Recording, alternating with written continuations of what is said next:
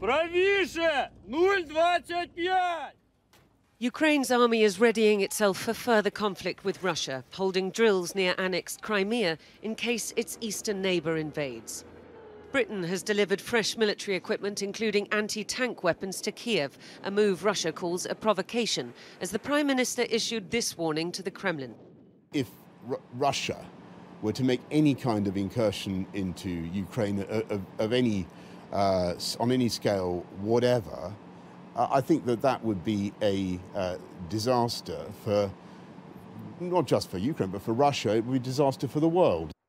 The White House is on a damage control mission. The US president seeking to clarify comments he made on Wednesday that a minor incursion into Ukraine might result in a lesser response from the West than a full scale invasion. Any assembled Russian units move across the Ukrainian border, that is an invasion. But it will be met with severe and coordinated economic response that I've discussed in detail with our allies, as well as laid out very clearly for President Putin. But there is no doubt, let there be no doubt at all, that if Putin makes this choice, Russia will pay a heavy price. From Berlin, America's top diplomat stressed the West stood united. He meets with his Russian counterpart in Geneva on Friday. But with Russia's core demand an end to NATO expansion, the one area where NATO won't budge, those talks won't be easy. Sergei Karaganov is among the more hawkish viewpoints that you'll find in Moscow, and he's tight with the Kremlin's inner circle. NATO expansion uh, was a, was a cancer, cancer which was in, introduced into the body of uh, of, uh, of the subcontinent.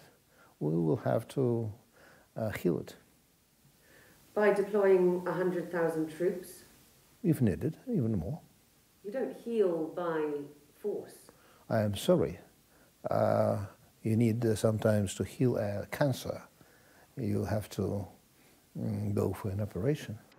That message has sunk in. The latest opinion polls showing that most Russians believe it is NATO and the US, not Russia, who are responsible for tensions over Ukraine. But it's another question whether they're prepared to send in their young men to fight.